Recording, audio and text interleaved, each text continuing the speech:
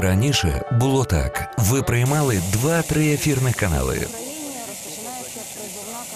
Тепер стало так: 32 цифрових канали безкоштовно, повний ефір задоволень навіть для віддалених сіл та містечок. Вже мільйони родин по всій Україні підключились до цифрового ефірного телебачення. А ви? Підключайтесь до цифрового телебачення у новітньому стандарті. Як підключитися до національної мережі цифрового телебачення? В магазині електроніки виберіть приймач цифрового телебачення. Вибрали. Увімкніть приймач. З'єднайте його вхід зі своєю антеною, а вихід з телевізором. Вже за 5 хвилин налаштування у вас цілих 32 канали у відмінній якості. І головне безкоштовно. Yes! Ба! Ти ба як просто! Цифра! Підключайтесь до цифрового телебачення у новітньому стандарті.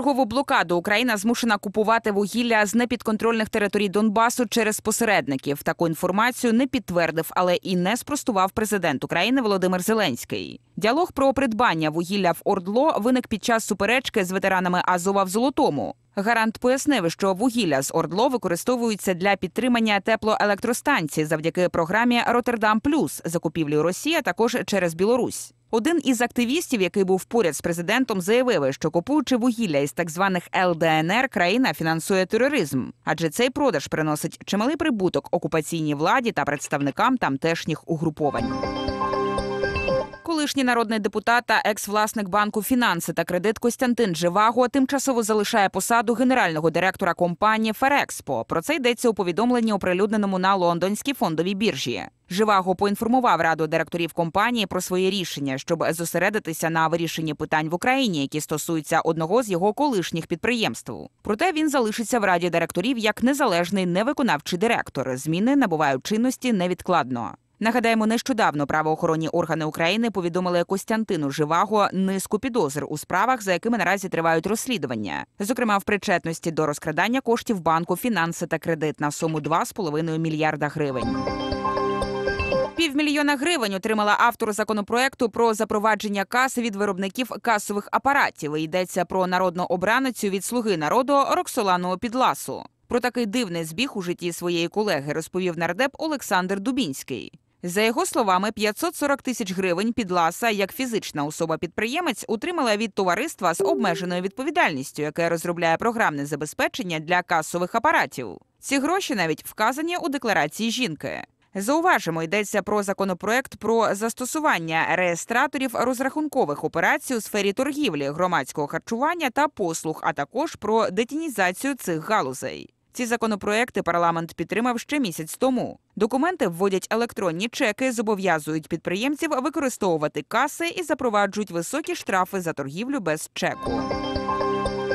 Посвідки для українців б'ють рекорди. Минулого року наша держава знову стала лідером за кількістю отриманих дозволів на проживання у країнах Євросоюзу. Такі дані оприлюднили у Євростаті. Всього для наших громадян видали 527 тисяч посвідок на проживання, з яких майже 79% з Польщі, 5% з Чехії, 4% з Угорщини. На другому місці за отриманням таких документів опинилися громадяни Китаю, на третьому Індії. Додамо, у минулому році Польща видала 413 тисяч дозволів українцям. Верховний суд відмовив колишньому генпрокурору Віктору Шокіну у відновленні його на посаді генпрокурора. За даними змі, чоловік не з'явився до суду за позовом про поновлення. Тепер ухвала може бути оскаржена у Великій палаті Верховного суду. Нагадаємо, Шокін обіймав посаду генерального прокурора України з лютого 2015 року до квітня 2016 року. І тепер просить Європейський суд з прав людини визнати незаконним його звільнення. А в жовтні Шокін подав у касаційну палату позов до п'ятого президента Петра Порошенка і Верховної Ради з вимогою переглянути судове рішення через нововиявлені обставини.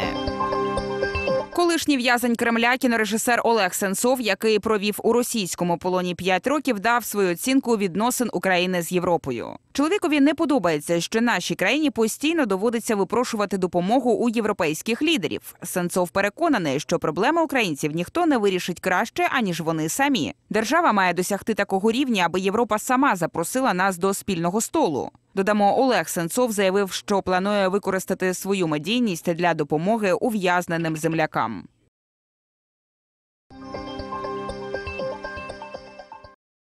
Екс-президента Порошенка зобов'язали виплатити співачці Анастасії Приходько майже 270 тисяч гривень компенсації. У постанові суду йдеться про те, що використання сценічного образу Приходько в агітаційному ролику колишнього президента було незаконним, адже співачка є автором персонажу із властивими тільки їй рисами обличчя та манерою співу і поведінки. Також, як встановив суд, Анастасія Приходько не давала своєї згоди на використання її імені та зображення для виробництва агітки. Таким чином, ролик є порушенням авторських прав, і Порошенко повинен відшкодувати збитки співачці.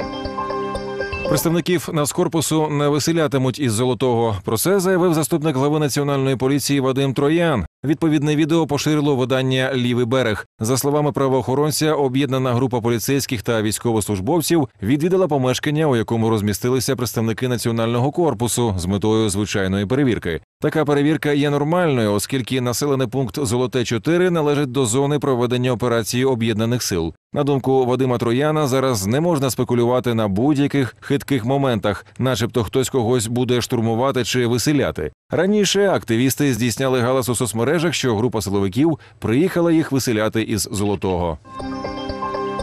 Укроборонпром підтвердив факти усунення держпідприємства від виконання оборонних замовлень на користь приватних структур.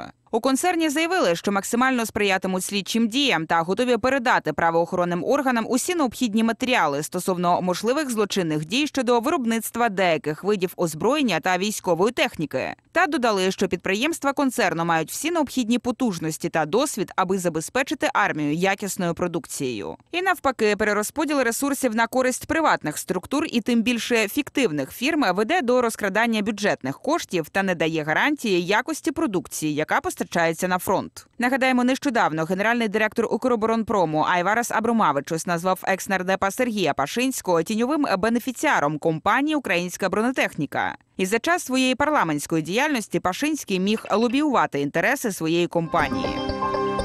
Дзержинський районний суд Кривого Рогу обрав заступнику голови Дніпровської міської ради Михайло Лисенко запобіжний захід у вигляді утримання під вартою з можливістю внесення застави у понад 600 тисяч гривень. За версією слідства, заступник голови разом з іншими посадовцями та керівництвом підприємства підрядника підозрюється у привласненні майже 30 мільйонів гривень під час ремонту центрального мосту у місті. Раніше заступник міського голови Дніпра був оголошений у розшук і затриманий. Нагадаємо, у 2017 році міст був закритий на реконструкцію. Під час ремонтних робіт виявилися порушення, пов'язані з підрядником, у зв'язку з чим було відкрито кілька кримінальних справ. Розробка закону про особливий статус Донбасу напряму залежить від переговорів у нормандському форматі. Про це заявив голова Верховної Ради Дмитро Разумков. Він нагадав, що строк дії чинного закону стікає вже 31 грудня, тому парламент найближчим часом має ухвалити новий документ. Слід зазначити, що нинішній закон про особливий статус Донбасу був прийнятий ще у 2014 році. Згодом його подовжили до 2019-го. Нагадаємо, раніше президент Володимир Зеленський наголосив, що новий закон враховуватиме червоні лінії та суспільну думку. Президент Володимир Зеленський дав старт масовій приватизації. Голова держави підписав указ про передачу фонду держмайна п'яти великих підприємств. Серед них готель Дніпро і ДП Чайка. Про це повідомила заступниця голови офісу президента Юлія Кувалів. За її словами, другим кроком стане передача фонду держмайна ще дев'яти об'єктів. Підписав Зеленський закон про скасування списку заборонених до приватизації держпідприємств, який діяв в Україні з 1999 року. Ковалів запевнила, що саме цей документ був одним з найбільших бар'єрів, який не дозволяв запустити по-справжньому велику приватизацію в Україні.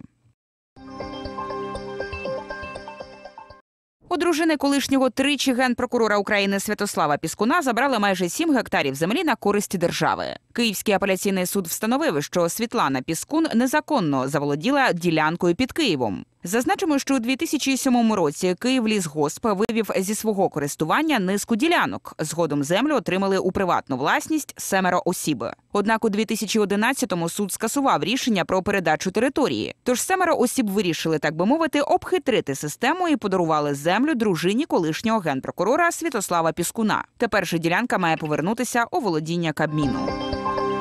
Свідки масових розстрілів на майдані у 2014 році грузинські снайпери дали свідчення у Генеральній прокуратурі Білорусі. Як заявив на своїй сторінці у Фейсбук адвокат екс-беркутівців Олександр Горошинський, чоловіки підтвердили, що вбивства у центрі Києва організували Пашинський, Парубій та Саакашвілі з метою зірвати мирну угоду. За словами громадян Грузії, причиною розкриття ними інформації про події на майдані стала загадкова смерть шести їх колег, які також брали участь у революції 2014 року. Окрім цього, Горошинський наголосив, що очікує на реакцію Генпрокуратури України, оскільки, на його думку, люди повинні знати правду про трагічну сторінку в історії їхньої держави.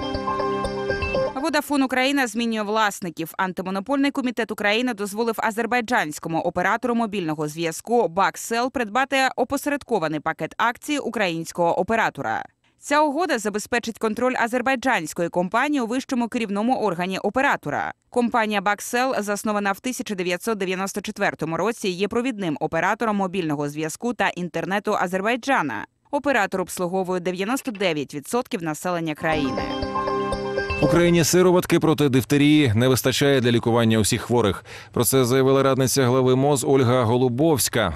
За її словами, на одного дорослого хворого необхідно близько 50 доз сироватки, а станом на жовтень в Україні є лише близько 140 флаконів. Повідомляється, що наразі кількість зафіксованих випадків дифтерії приблизно така ж, як реєструється щорічно, і не варто відкидати можливість її поширення. До того ж, в Україні немає жодного нормативного документа, який би регулював стандарти надання медичної допомоги хворим на дифтерію. Додамо, вводити антитоксин необхідно абсолютно кожному хворому, незалежно від тяжкості недуги. Хоча щеплення і не гарантує, що людина не занедужує, але допоможе пережити захворювання без ускладнень. Влада, схоже, хоче стати ще закритішою від громадськості. У Зе-команді вирішили ліквідувати прес-служби. Про це заявив міністр цифрової трансформації Михайло Федоров. Наразі сайти державних органів і так далекі від оперативної подачі інформації, а стане ще повільніше. Чиновник зазначив, що прагне змінити підходи до комунікації державних органів. Невже тепер усі прес-секретарі працюватимуть як Юлія Мендель, яка встигла відзначитися неоднозначною поведінкою щодо журналістів? Якщо так, то ця влада точно увійде в історію своїми реформами. Віце-прем'єр зауважив, що планує залучати людей для створення команди амбасадорів. Мовляв, журналісти, СММщики і прес-секретарі мають жити своїм життям. Тож традиційній прес-службі у державному секторі скоро прийде кінець. Ветерани добровольці у супроводі правоохоронців вивезли власну легальну зброю із золотого 4 Про це розповів заступник голови Нацполіції Вадим Троян. За його словами, відповідне рішення ветерани прийняли після зустрічі з президентом України Володимиром Зеленським. Троян також запевнив, що наразі в районі підготовки до розведення військ на Донбасі перебувають лише волонтери без зброї. У МВС своєю чергою повідомили, що в Золотому 4 та Катеринівці працюють шість загонів Нацполіції, також пункт прийому громадян. Для забезпечення громадського порядку направили туди і нацгвардійців.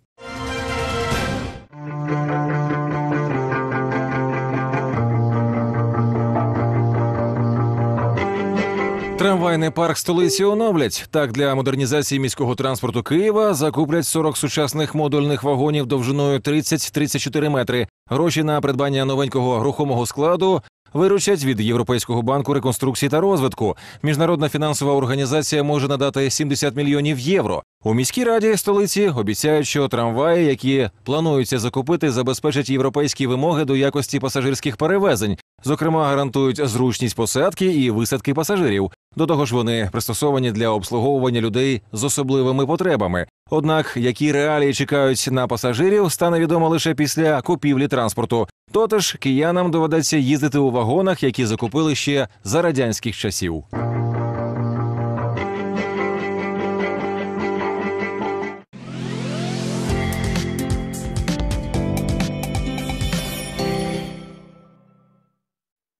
Око історії, яке споглядає жахи військових зіткнень. Українські художники показали картини з куль та гільз, зібраних на Донбасі. П'ять елементів війни. Так Дарина Марченко і Даніель Грін назвали чергову серію незвичних шедеврів. кажуть, військові матеріали найкращий засіб, щоб показати саме серце війни. Для того, чтобы передать происходящее на фронте, передать происходящее в Украине, м, это невозможно сделать просто красками. Эту энергетику передают именно вот эти вот разорванные э, осколки градов, которые уносили человеческие жизни. Трембіта найбільший у світі духовий інструмент довжиною 3 метри. Для гуцул вона має унікальне ритуальне значення. Її звуками проводжають покійного в останню путь, зустрічають релігійні свята, проводжають вівчарів із вівцями овець на пасовище. А колись використовували як мобільний телефон, дуділи згори на гору спеціальними сигналами. Зараз майстрів, які виготовляють трембіти, майже не залишилося. Їх можна перерахувати на пальцях рук. Михайлу Тафійчуку майже 80 років. Він живе у селі Буковець в серці українських Карпат. Практично все своє життя чоловік робить трембіти. Старий гуцул грає і виготовляє майже десяток інструментів. Крім трембіти, скрипка, флояра, цимбали, дримба, сопілка, дудка чи коза, ліра всі автентичні гуцульські. Ось, наприклад, коза, майже як шотландська волинка, великий мішок з козячої шкури, а в ньому три трубки. В одну треба дути, друга видає низький гул, а третя з дірочками. На ній грають. Такого ні дня не зловите вже, щоб так усе робив.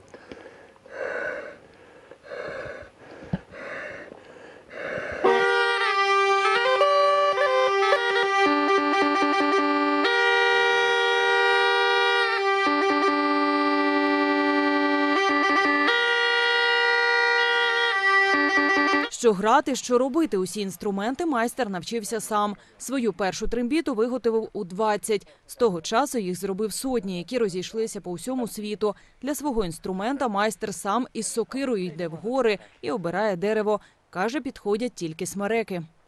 Смерека має бути тільки на трембіту смерека. Ну, що з давніх я не годен це пояснити, в чому то річ, що смерека. Вона легонька і, ну, не, не, бо то, коли людина трембітає, вона робиться волога. Коли перестає, ну, там якийсь час не трембітається, вона висихає, вона більше так, як, як гнила робиться, і шкідливо то. А смерека щось витримала, витривала така на все. Пан Михайло стукає по дереву, слухає, чи дзвінко воно звучить. Потім треба висушити деревину. А з неї вже майстер спеціальними ножами і стамесками вручну стругає, натирає. Робить інструмент з чотирьох частин. Спочатку клеїть дві половинки верхньої частини, потім дві нижні. А верх трембіти обмотує березовою корою. Її попередньо треба обдати окропом. Весь процес від початку до кінця займає днів 10. Не у кожному однаково це виходить. Хто любов має до того. Та й просто здібності в людини є такі, що людина наче здогадується, як там прикласти губи, як подути, як коли сильніше притиснути до губей треба. На такі високі строї треба до губей дуже притиснути. І тоді так, так дуже. Тяжкого нема нічого. А ось замовляють трембіти зараз рідко, хіба що у приватній колекції та в ансамблі. А ще рідше вдається знайти учня. Дід вчить свою 13-річну онуку Марічку грати на трембіті. Пояснює, весь секрет у тому, як складати губи. Але головне, упевнений Михайло Тафійчук, любити цей інструмент.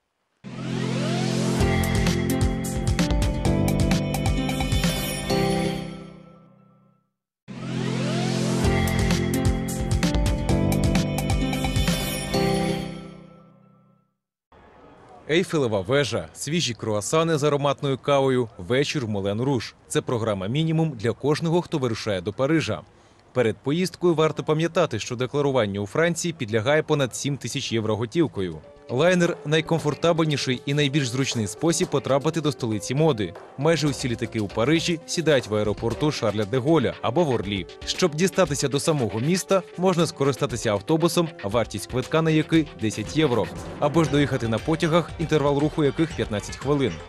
Аби отримати справжнє задоволення від перебування у столиці закоханих, треба пам'ятати. Париж місто не з дешевих, тому варто відкласти суму з розрахунку не менш ніж 50, а краще 100 євро на добу. Утім, гостинна столиця порадує вас безліччю готелів і відмінним обслуговуванням. Проживання коштуватиме від близько 100 до майже півтисячі євро, залежно від зірковості обраного приміщення. Щоб поїздка була більш насиченою, треба відвідати найвідоміші місця у місті вогнів. Лувр одне з них. До сучасної колекції музею входить більш ніж 400 тисяч експонатів. Щоденно його відвідують понад 25 тисяч гостей. За рік близько 5 мільйонів. Їжа важливий елемент французької культури. У Парижі ви матимете унікальну можливість спробувати не лише традиційну, а й сучасну французьку кухню. Пересуватися столицею Франції напрочуд легко. Тут розгалуджена мережа міського транспорту. Метро вважають найдешевшим і найшвидшим. Проїзд коштує, як в автобусі, близько 2 євро. Якщо ви звикли до зручностей, скористайтеся таксі. Проте варто пам'ятати, тарифи у Парижі різні, залежно від часу доби, і немалі. До того ж, близько 10% треба дати водію як чайові. Шопінг інша важлива причина, чому тисячі туристів приїжджають щороку до цього міста. Воно пропонує те, що можна купити лише у Франції: вино, сир, моду від кутюр, парфуми, аксесуари, прикраси та антикваріат. У столиці ви знайдете безліч модних бутиків, величезні супермаркети, блошині ринки і магазини секонд-хенд. Насправді, королівський шопінг за великими доступними цінами формула успіху унікального села у передмісті Парижа Ла Валле Вілладж. Тут можна зустріти Мелані Гріфіт, Вуді Аллена і членів королівської родини Саудівської Аравії. До речі, парижани вважають за краще носити помітні речі з гучними іменами, що відрізняє їх від німців, голландців і англійців. Стиль одягу залежить від соціального становища, професії і, звичайно ж, погоди.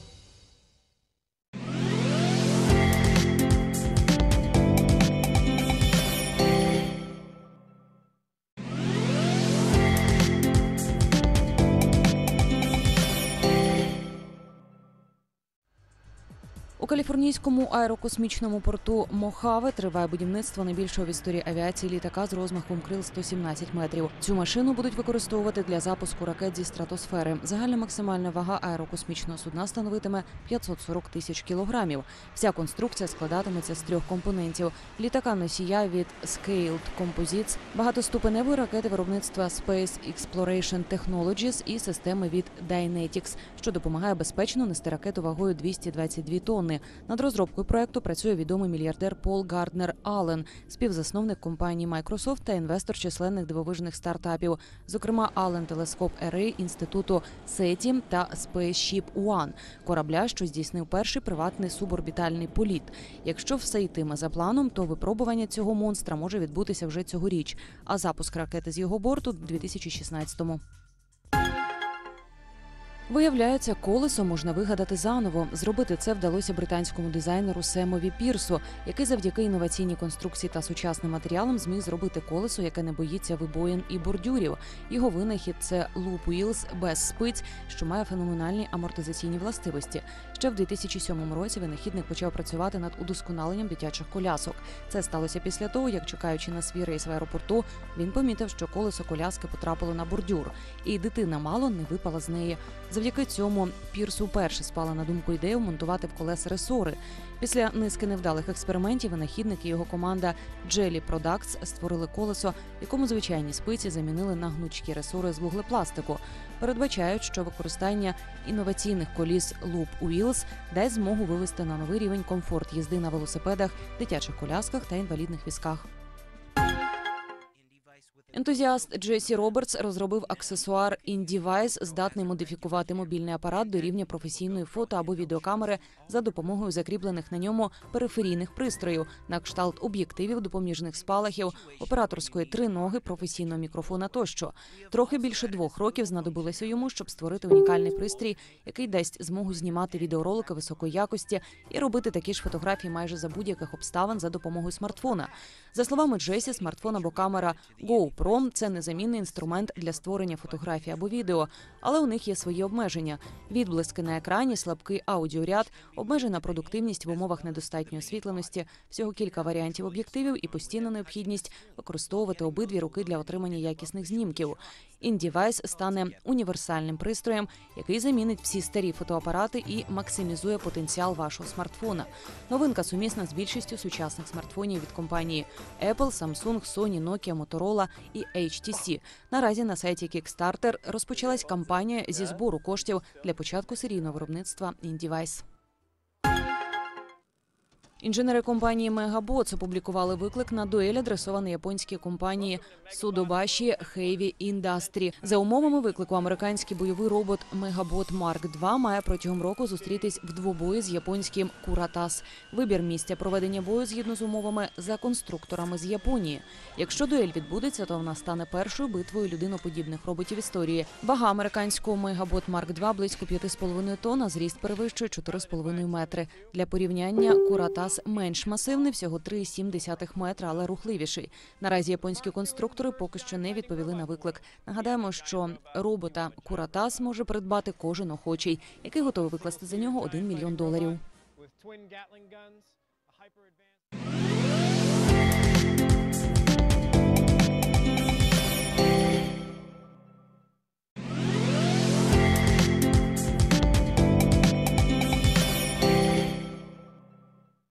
Відбулась прем'єра оновленого Porsche 911 Carrera з індексом кузова 991.2. Автомобіль вирізняється новим переднім бампером, спліттером та повітрозабірниками. Крім того, новинка отримала нову головну оптику з чотирма секціями ходових вогнів на манер кросовера Macan і рестайлінгового Cayenne. Ззаду ревізії піддалися ліхтарі, кришка моторного відсіку та бампер. У салоні Porsche 911 з'явилося нове кермо у стилі Hypercar 918 Spider. Також автомобіль обзавівся новою мультимедійною системою з сенсорним екраном, штатною навігацією, що працює на основі сервісів Google Earth і Google Street View, а також підтримкою Apple CarPlay. Тепер навіть базові версії Porsche 911 отримали турбомотори. Базовий двигун оновленого Porsche 911 Carrera видає 370 кінських сил. З місця до сотні купе прискорюється за 4,2 секунди, а максимальна швидкість сягає 295 км за годину.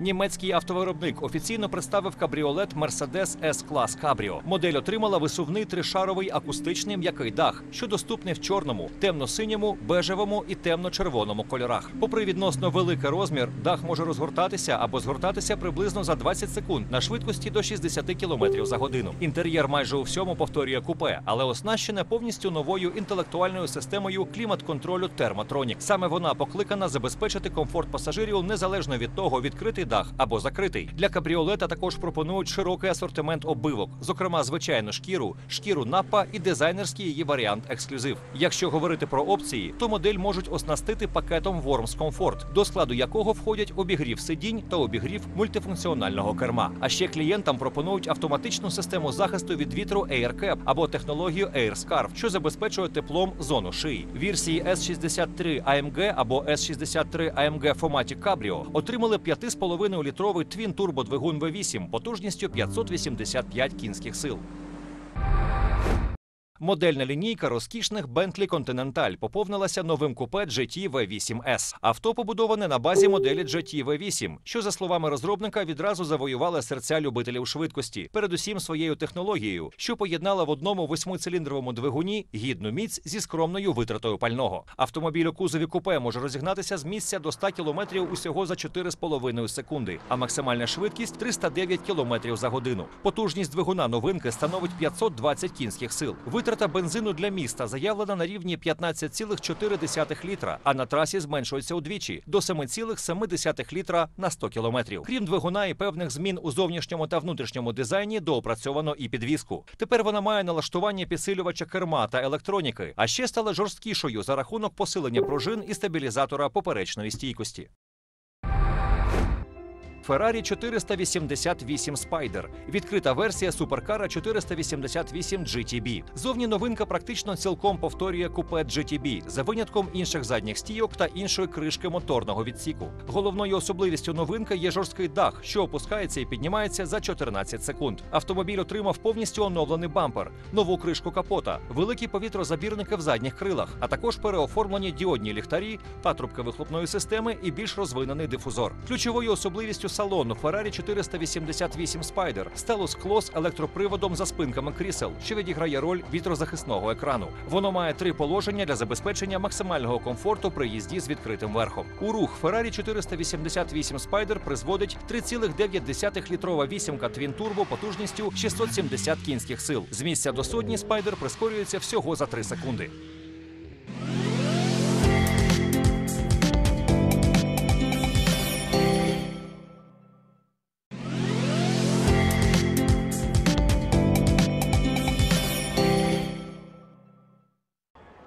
Ейфелева вежа, свіжі круасани з ароматною кавою, вечір в Мулен Руж. Це програма мінімум для кожного, хто вирушає до Парижа.